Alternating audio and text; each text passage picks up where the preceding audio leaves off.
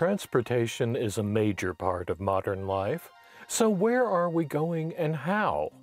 We were lucky enough to speak with Patrick Mandapaka of the HGAC to find out.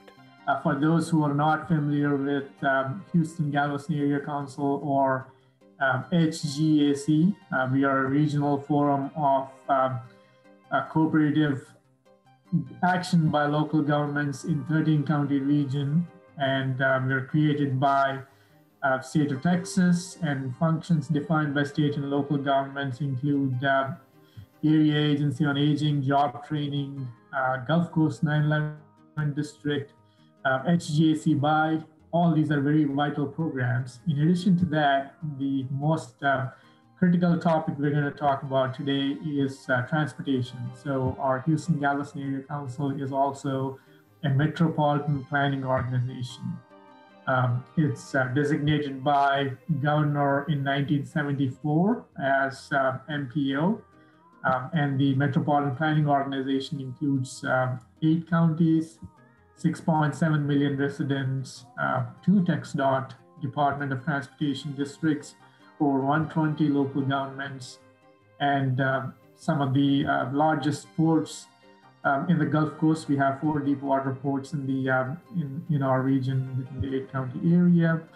Um, so uh, that includes uh, the uh, Brazoria County, Fort Bend County, Waller, Montgomery, Liberty, Chambers, Galveston, and Harris County. Um, and we provide uh, metropolitan planning area um, as part of that, uh, the MPO, Metropolitan Planning Organization, provides services such as long range transportation planning. So we currently have a long range transportation plan for 2045.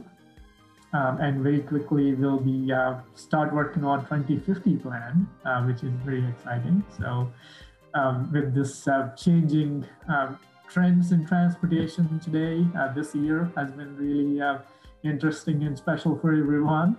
Um, and uh, similar trends are uh, being reflected in transportation as well. Um, we had a steep decline in uh, vehicle miles traveled uh, when uh, we had uh, emergency declaration back in March and April timeframe. The, the vehicle miles traveled have steeply dropped to around 20% of pre-COVID. But then since then, it has been quickly uh, popping up to 70, 80% levels. So people are driving a lot more uh, since then. Um, the transit ridership, though, it is still lagging behind in the region. Um, and um, and the, the more positive part is the bicycle ridership. So we have some bicycle counters um, all around our region, and we see that there's uh, 400% or 300% increase in bicycle ridership um, in, in some of the counter locations we see. So uh, people are definitely bicycling more, um, and, um, and that is a very positive trend, and we hope to capitalize going forward um, after uh, COVID gets resolved, hopefully in 2021. Mr. Mandapaka has much more to share with us, so please join us next week for the second part of this series. For Stafford CSI, this is Randall Williams.